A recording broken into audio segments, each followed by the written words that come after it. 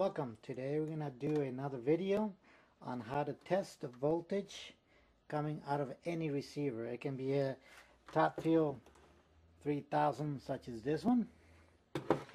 It could be a Geosat Pro 1200 or even an HDVR 3500 receiver. How what you're going to need is a regular paper clip like this one right here the metal paper clip with no plastic on it. What I need you to do is just stretch it out just a little bit like that. And we're going to take this end of the paper clip right here and we're going to, going to insert it into the LNB input side.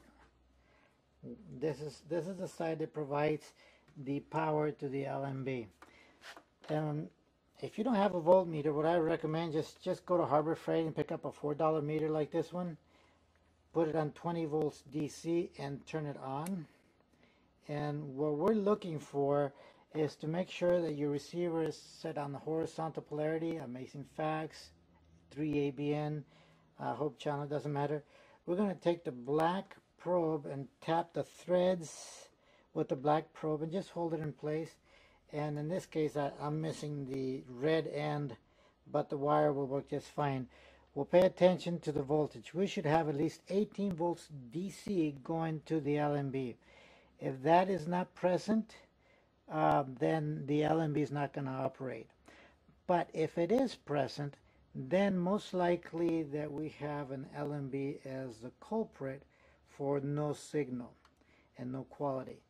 So, and if you don't have any 18 volts coming out of the receiver, then uh, I would expect that the power supply on your receiver has failed and it's time to get a new one. We are going to be changing from MPEG 4 technology to, I'm sorry, from MPEG 2 technology to MPEG 4. So if your receiver is bad, I would just recommend getting one of the new HDVR 3500s, which are MPEG 2 and MPEG 4 compatible. Thank you for watching. Please don't forget to subscribe and share with others. We appreciate your viewership. Bye-bye.